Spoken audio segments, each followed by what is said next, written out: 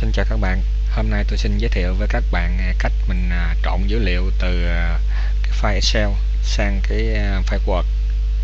Như vậy trộn dữ liệu là như thế nào? Bây giờ trước tiên là thí dụ như chúng ta có một cái mẫu hợp đồng, hợp đồng lao động ở đây.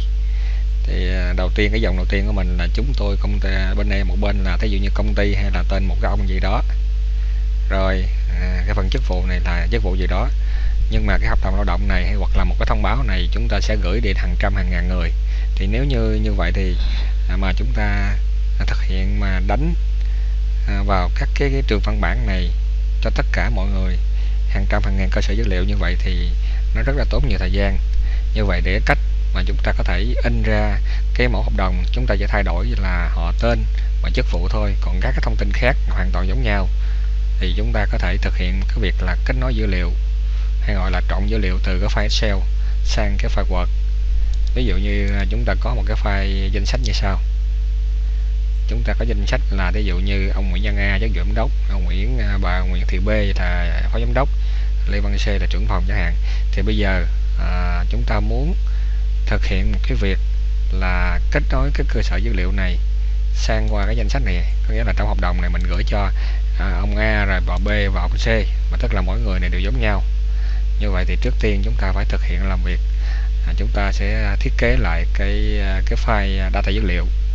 À, đầu tiên là trong cái cột họ tên này thì chúng ta không ghi chữ hoa. Cái chữ hoa này thì dữ liệu sẽ nhận không nhận được chúng ta ghi chữ thường thôi. Ta ghi đây là dụ ta ghi chữ họ ta ship gạch à, tên đó. Chúng ta ghi như vậy. Còn chức vụ này chúng ta ghi chữ chức. Không dấu ta ghi ship gạch chức vụ chẳng hạn đó thì ở đây nó sẽ có được cái ờ, hai cái trường này hai cột này đại diện cho là ông Nguyễn Văn A, Nguyễn ờ, Thị B và Lê Văn C chẳng hạn. Đây là có thể mình lưu lại lưu lại. Và các bạn lưu ý một điều là để trộn được dữ liệu này thì ờ, chúng ta nên thực hiện cái việc là để cái file Word và cái file Excel này cùng chung một cái thư mục. Là sau khi chúng ta trộn rồi chúng ta có thể nén lại file này và chúng ta à, đem qua một cái máy khác chúng ta thực hiện được chứ không nên để hai cái file này nó khác thư mục là cái việc kết nối dữ liệu sẽ gặp khó khăn. À, chúng ta bắt đầu thực hiện cái việc kết nối dữ liệu. Cái thứ nhất là đầu tiên là bây giờ thọ tên. Ở đây mình muốn chèn cái tên cái cái trường đây. Thì mình vào trong cái phần Word cái mình chọn là mailing mình chọn là star mailing mật. À, mình chọn là letter. Letter.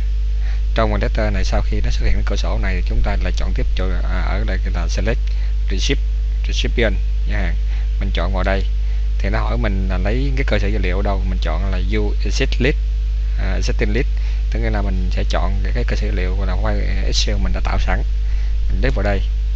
Thì nó sẽ, sẽ lựa ra cái cửa sổ mà chúng ta vào cái nơi thư mục mà chứa cái cái file data dữ liệu Excel này. Chúng ta ví dụ như đây là danh sách chúng ta chọn đây. Đó. đây sau đó chúng ta mở lại chúng ta bám open. Nó hỏi là chúng ta có ba cái sheet trong cái file Excel này nó có có ba cái sheet nè. Chúng ta chọn cái sheet nào? Thì chúng ta để cái à, mặc định số 1 chúng ta chọn đây là ok. Sau khi chúng ta đã kết nối dữ liệu xong rồi thì bây giờ chúng ta lại chèn dữ liệu vào. Ở đây họ cái cột đầu tiên là họ tên thì mình chọn ở đây mình chọn trong insert. Mặt field đây chúng ta chọn à, họ tên chọn đây họ tên. Rồi chúng ta đóng dòng thứ hai à, chiếc vụ thì chúng ta lại tiếp tục chọn chỗ ở đây.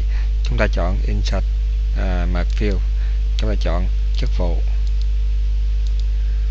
Chúng ta bấm. Như vậy là chúng ta đã kết nối dữ liệu xong.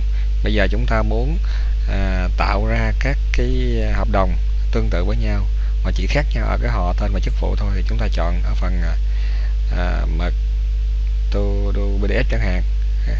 Hay hoặc là chúng ta chọn vào đây chúng ta chọn là send email.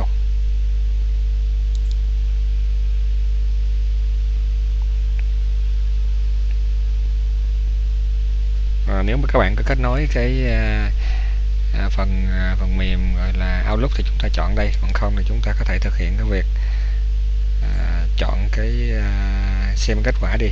Và chúng ta xem kết quả. Thì lúc này ở đây là nó sẽ có cái ông Nguyễn Văn A là kết nối dữ liệu và là chức vụ giám đốc chẳng hạn. Đó. Rồi cái cái mail kế tiếp à, cái, cái mail thứ hai là đây là một Nguyễn Thị B chức vụ giám đốc.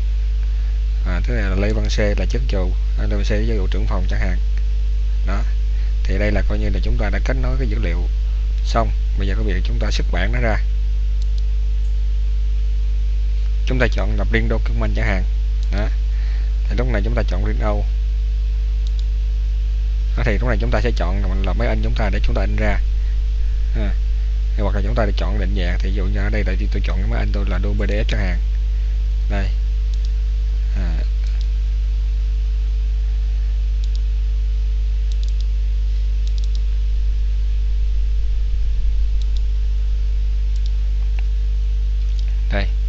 Như vậy thì à, chúng tôi đã, đã thực hiện cái việc là chọn dữ liệu xong. Cái này đầu tiên chúng ta sẽ có được là cái ba cái, à, cái hợp đồng. Hợp đồng lao động thứ nhất là có Nguyễn Nga chức vụ giám đốc ha. cái hợp đồng thứ hai là Nguyễn Thị B chức vụ phó giám đốc. Rồi à, hợp đồng của là Lê Văn C chức vụ trưởng phòng nhà hàng thì như vậy với cách mà thao tác trộn dữ liệu giữa cái file Word và Excel này thì chúng ta có thể thực hiện cái việc trộn dữ liệu rất là tiện lợi ở đây là tôi đưa ra hai cái ví dụ thôi hai cột thôi họ tên. Còn ở đây các bạn có thể tạo thêm những cái cột khác. Và với những cái chức năng tương tự à, với cách thức tương tự chúng ta sẽ tạo được à, nhiều cái sự kết nối giữa hai cái file này. À, chúc các bạn thực hiện thành công. Xin chào các bạn.